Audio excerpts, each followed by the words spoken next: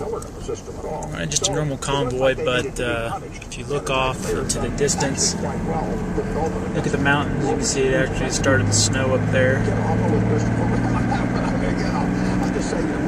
Sergeant Davis wants to go skiing. See if we can get a Black Hawk to drop him off up there. Get all extreme on the way out.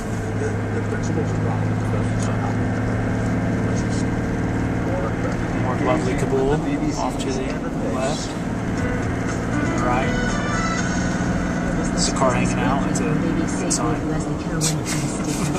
it scares the shit out of you time you drive past one of those guys. It's aiming right out the middle road like that. Hit the gas and blow. The thing about Warren Buffett is that he does things his own way. He doesn't follow the herd. His office in Omaha, for example, Mountains are pretty. We're here. Nice place to go.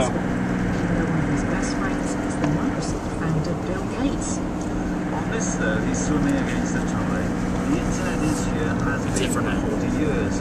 On October the 29th.